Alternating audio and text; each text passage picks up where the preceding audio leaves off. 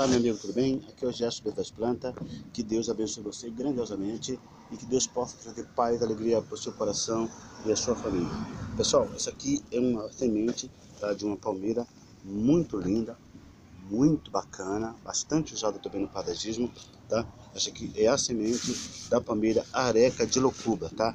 Essa palmeira foi, foi, foi colhida hoje, tá? Caída do pé, tá? Que a semente é boa quando ela é caída do pé, quando ela está madura, tá? Que aí ela tem todo o teor de germinação, tá? Foi colhida hoje, tá? E agora eu vou dar uma lavada nela para depois fazer o plantio dela também. Eu tenho, eu tenho aí várias sementes, tá? A quantidade de sementes que você quiser fazer mudas para trabalhar com 5, 6 ou 10 hectares de, só de palmeira, nós temos semente para te enviar para qualquer lugar do Brasil, ok? Essa aqui é a semente da palmeira areca de locuba. A palmeira areca de locuba, ela só nasce a única palmeira por semente, tá?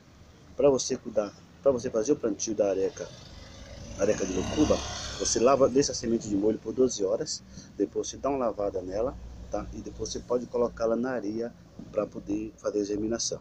Aí depois você pode fazer é, a divisão, né? Depois periodicamente, tá ok? Então essa aqui é a palmeira, chamada semente da palmeira, areca de locuba. É uma planta que que que está em alta, né? A palmeira areca, a semente da palmeira areca de locuba, tá? Que é onde você pode plantar ela em vasos, pode plantar ela também é, diretamente do solo, tá?